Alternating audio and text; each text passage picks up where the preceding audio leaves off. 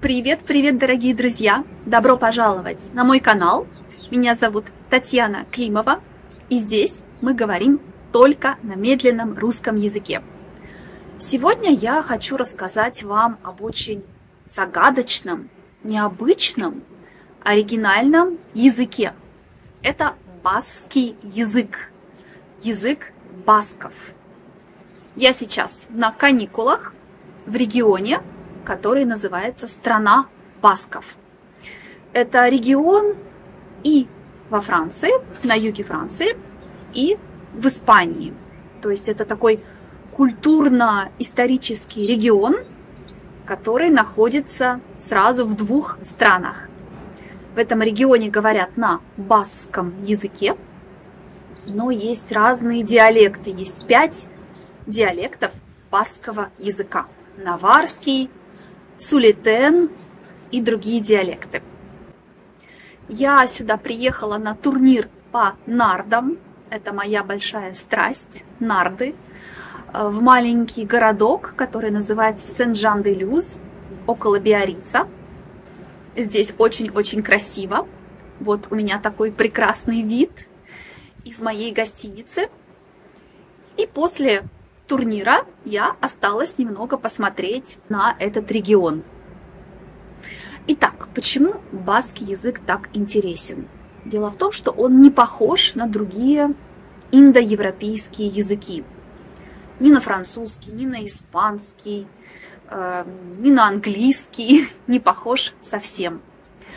Говорят, что он э, был в Европе еще до индоевропейских языков, то есть это самый старый язык Европы.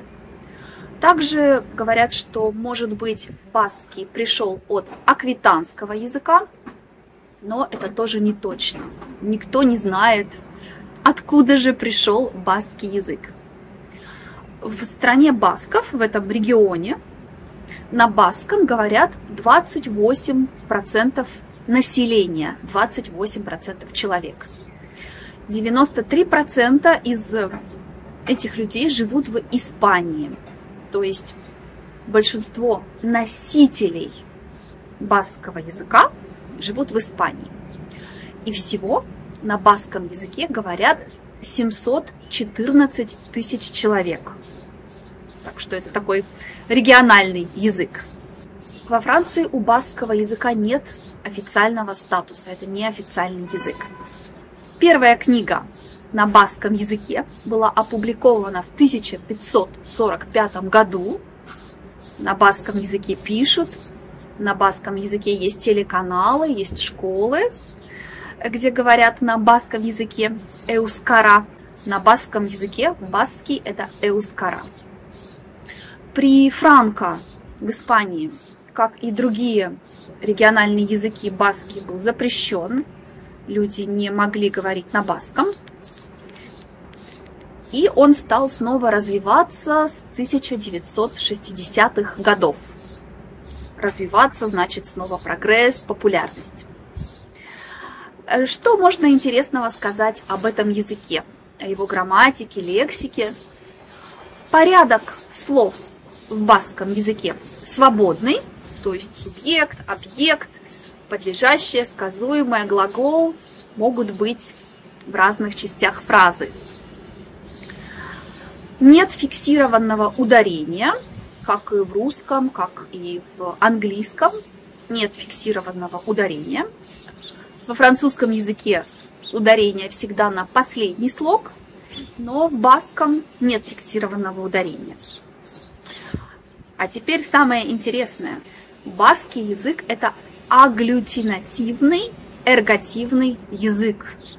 Агглютинативный эргативный язык. Что это значит? Агглютинативный язык значит разные индикаторы.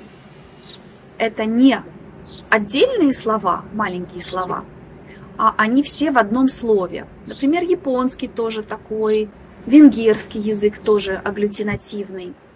Это значит, что например, артикль, определенный артикль, будет не маленькое слово отдельное, например, лё, ля, ри, эй, а это будет маленькая буква, какой-то элемент в конце слова.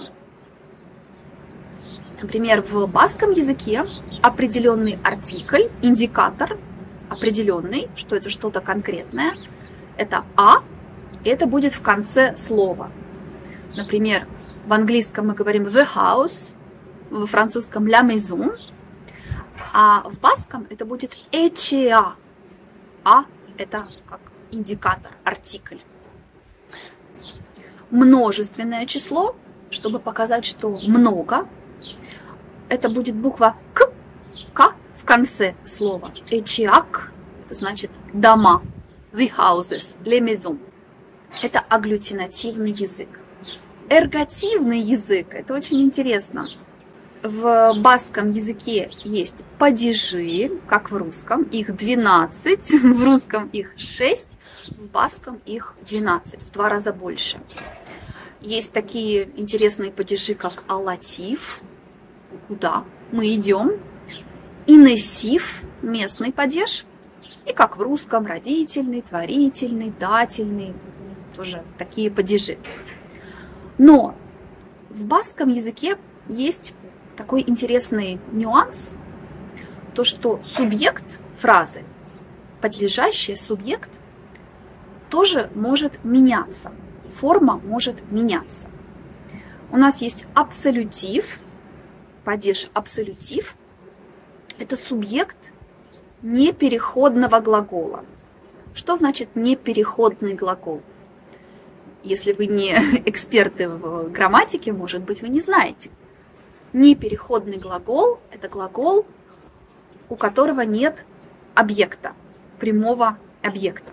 Например, ходить, бегать. У этих глаголов нет прямого объекта. Мы не можем ходить что-то, бегать кого-то. И э, в баском языке абсолютив у него будет форма, обычная форма. Например, чория – это птица, чория, а – это артикль, чория, и бильтен – да, элюреан. Чория и бильтен – да, элюреан – значит, птица ходит по снегу. Здесь птица – это субъект непереходного глагола, птица ходит, поэтому будет чория. Но если птица что-то ест, птица что-то пьет, птица берет, и потом у нас есть объект, птица будет в другой форме. Мы говорим чорьяк артоа ятен ду. Птица ест кукурузу. Здесь птица будет чорьяк. В русском языке птица ест, птица ходит. В английском the bird is eating, the bird is walking во французском l'oiseau mange, l'oiseau marche. Всегда птица, bird, oiseau. Но в баском языке это будут два разных слова, чория и чурьяк. Это эргативный язык. Эргативный язык – это значит субъект фразы будет иметь разные формы, если он делает что-то с прямым объектом или без прямого объекта. Что еще интересно? Если мы говорим о системе исчисления, как мы считаем в баском языке, это 20-личная система. То есть база наша это будет 20. Не 10, а 20. Например, 30 в баском это будет 20 плюс 10. Хогейта хамар. Хогейта хамар. Хамар это 10. Хогейта 20. Хогейта хамар 20 плюс 10. Это 30. 90 будет 4 раза. 4 раза по 20 плюс 10. Лаурогейта хамар. Лаурогейта хамар. Во французском, кстати, то же самое. 90. 4 раза по 20 плюс 10. Вот такая интересная система. Ну и несколько слов о лексике баскского языка. Она очень-очень богатая. Мы можем подумать, что это такой маленький регион, э, всего 5 диалектов, только 714 тысяч носителей. Наверное, это очень бедный язык. Нет, нет, нет.